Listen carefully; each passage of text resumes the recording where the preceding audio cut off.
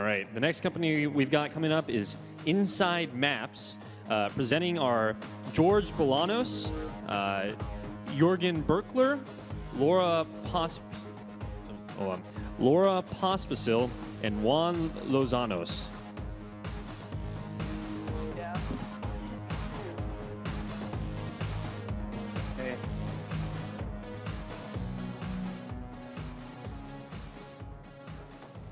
Hi, my name is George, and I'm thrilled to introduce Inside Maps. Inside Maps is a 3D model creation solution that will disrupt the way we shop for furniture. Because today, furniture shopping is high risk. Let me back up. Who wouldn't want to make their room, their home, sharp? I'm sure everybody here has shopped for home goods and probably online. Online because it's convenient and because there's a broad selection of goods. But there's a risk in shopping online. It's just hard to see how something that you choose online or even in a retail store will look in your own home. So imagine you're on Pinterest or Crate and Barrel and you click on something that you like and you immediately can see it in your own home. How cool would that be? How useful would that be? The best way to do that is with a 3D model. But the challenge with 3D models is the current solutions available are just too difficult for homeowners. They're too expensive or they just take a long time. They're commercial solutions, so much so that less than 1% of homeowners use these 3D model solutions. So that's why I'm excited to introduce Inside Maps, the only homeowner-friendly solution that allows anyone to create a 3D model of their own home with just a smartphone. Let me introduce Laura, who will describe how our friend Jane uses Inside Maps. Thanks, George. Jane wants to redecorate. She is shopping for furniture at Crate and Barrel and sees a sofa that she likes, but she can't imagine how that sofa will look in her own home. Luckily, Inside Maps is there to help her. The app guides her through a simple capture, capture solution, snapping a few photos of each wall. In addition to capturing the photos, the app collects, collects data from the gyro, the accelerometer, and the magnetometer in order to recreate the structure of the room. This takes Jane just a few minutes. She opens the link to her model and takes a sofa from the Crate and Barrel catalog and puts it in her living room. She adds other pieces of furniture from her personal collection of favorites. The measurement tool is also handy for determining just how wide her TV can be.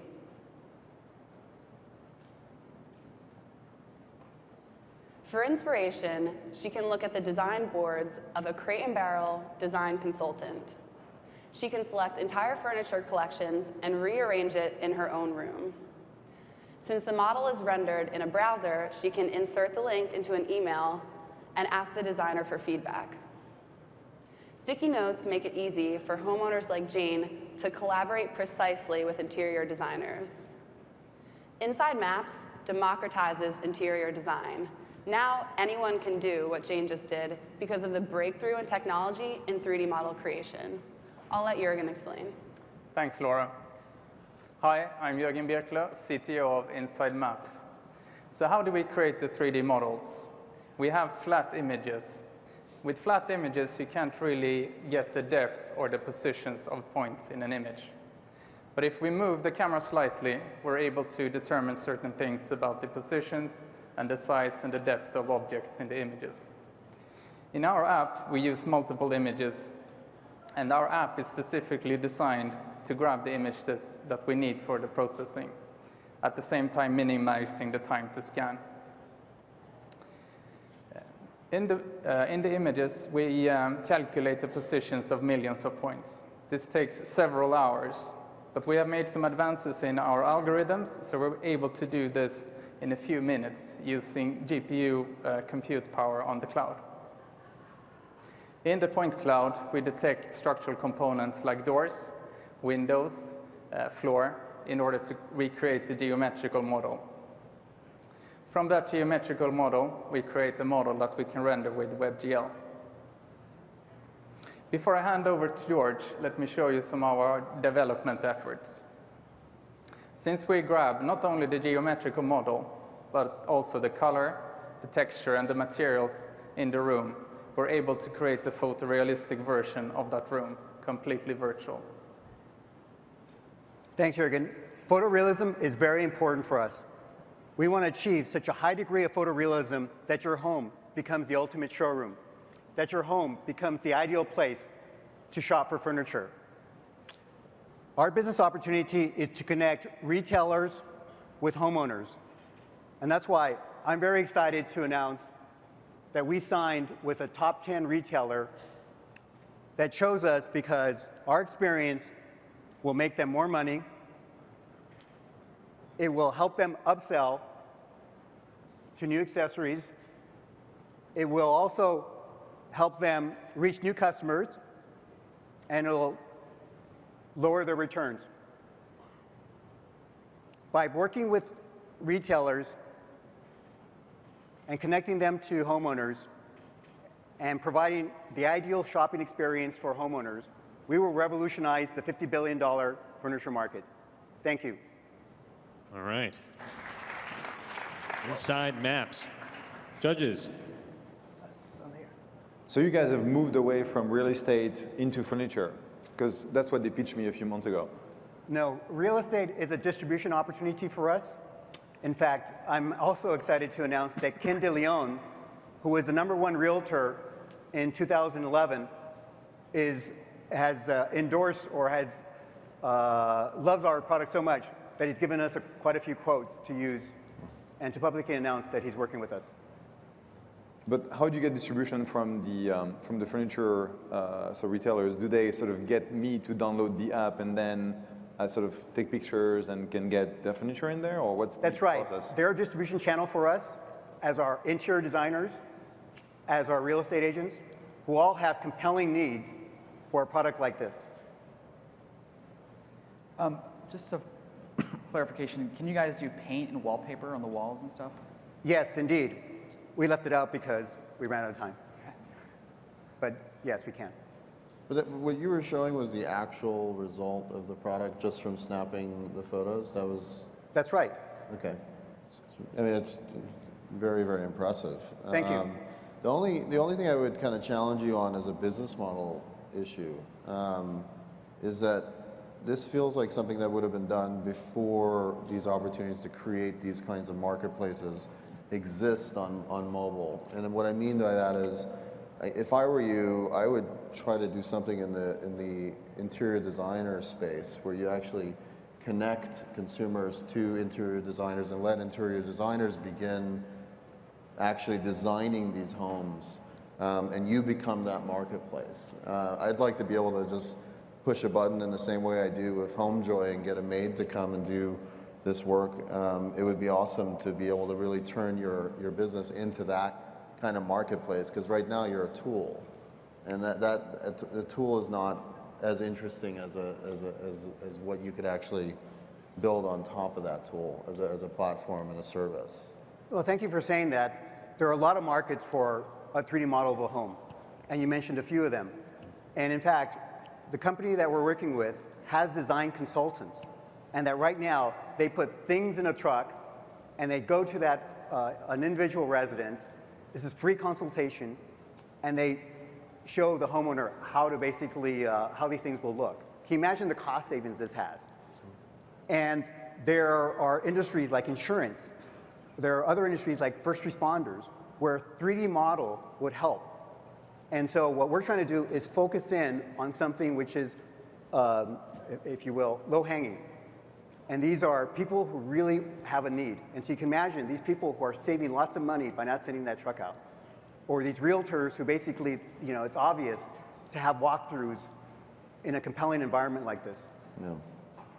I guess the point Shervin's trying to make, and I agree with, is that you could either sell a tool to the retailers or service providers or interior designers and firms and so on and so forth, or you could create a marketplace that would scale I see. and then make money off each transaction. And the latter is definitely a better revenue model than trying to sell a tool.